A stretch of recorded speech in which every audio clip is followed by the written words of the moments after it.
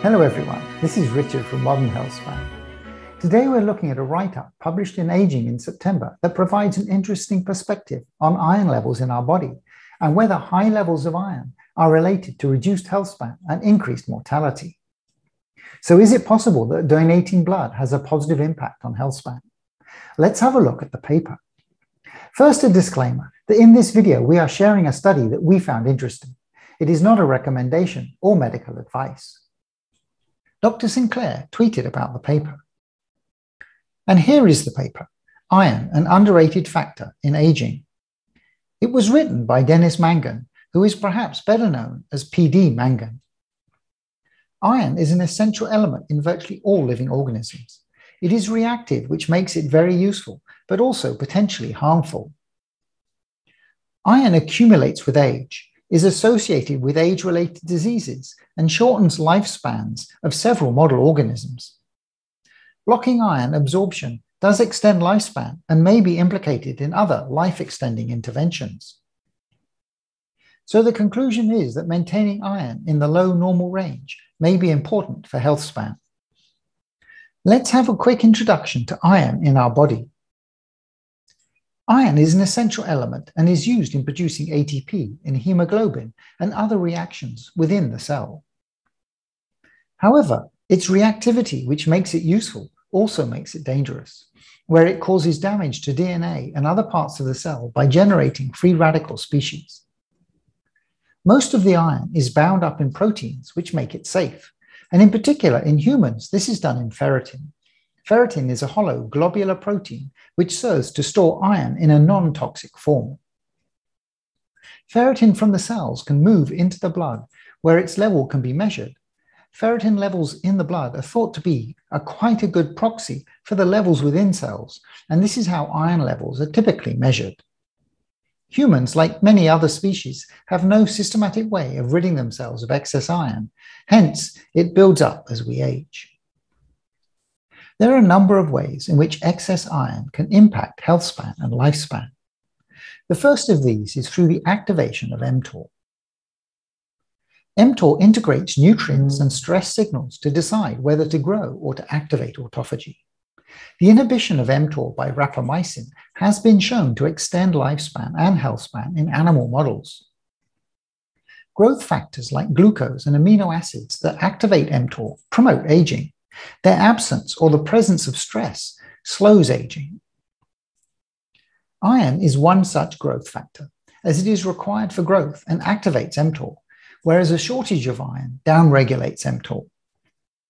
Even if ferritin is in the currently accepted normal range, depleting iron improves glucose tolerance, insulin resistance, and markers of cardiovascular disease. In experimental animal models, blocking iron extends lifespan. Aspirin has a number of benefits, including reducing the risk of cancer. In observational studies, it's been shown that regular aspirin users have lower blood ferritin. As cancer cells are iron hungry, this may be part of the anti cancer mechanism. And metformin, which has been shown to have lifespan and health span extension in mice and is now being tested in human, decreases heme production in humans and regulates their iron redox status, which may be part of its mechanisms of action. Another area where iron may play a role is in calorie restriction. Calorie restriction is the most robust life extension intervention known. There are many mechanisms that can be used to explain this, such as its effect on insulin and IGF 1, mTOR, and other factors. CR also affects iron metabolism. In a number of studies on animal models up to rhesus monkeys, it has been shown to reduce the levels of iron found in brain, liver, and kidney, and may be one of the mechanisms of actions for CR. Heterochronic parabiosis is the joining of blood systems of two organisms, often mice or rats, of different ages. When this is done, the younger mice see a degradation in health, and this may be due to the excess of iron in the blood of the older mice. In fact, just diluting the plasma of older mice with saline and 5% albumin leads to rejuvenation of muscle, liver, and brain, as shown by the conboys. Therapeutic plasma exchange is a similar process that is performed on humans. we talked to Dr. Dobri Kiprov, who runs a lab offering the therapy in San Francisco earlier about the process. Please watch the video, which is linked in the description for more details. In summary, blood is taken from a person, the plasma is removed and replaced with saline and albumin, then returned to the body. When serum from older adults was tested, it strongly reduced the proliferation of mice muscle cells, while after a single session of TPE, the serum from the same patient reversed this inhibition. Related to this, accumulation of iron delays muscle regeneration and suppresses the differentiation of muscle stem cells. If TPE and the plasma dilution seen by the Conboys can lead to rejuvenation effect, what is being removed that allows this? Iron is a good candidate. Although the blood cells, including the iron containing red blood cells, are returned to the patients, after TPE, the patients do show a high rate of iron deficiency. One study showed that 60% were anemic, and all of them decreased serum iron.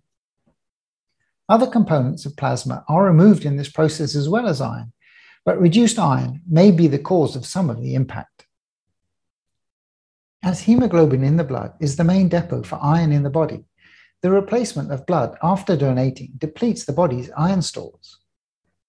Several studies have shown, even after accounting for blood donors being generally healthier than average, that donating blood reduces mortality risk and that each additional annual donation was associated with a 7.5% reduction in mortality.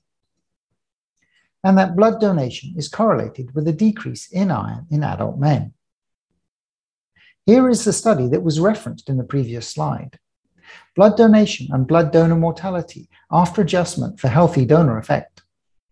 In this graph taken from the study, we can see mortality rate ratio against annual number of donations the reference ratio was set to 1.5 to 2.5 donations per year. The two lines are with and without adjustment for healthy donors. But in both cases, we can see that mortality is reduced with increased blood donations. Iron seems to be related to aging. It accumulates with age and is associated with age related diseases. Removal of iron from plasma is rejuvenating, and blood donations seem to reduce mortality. It seems that iron is associated with aging and controlling body iron stores may be an important way to extend human lifespan. A lot of the evidence for iron is associative, but it is really interesting. Identifying individual causes is always difficult, and there are not compelling reasons for drug companies to sponsor studies in this area. The data that I found most interesting was the study on blood donors and reduced mortality.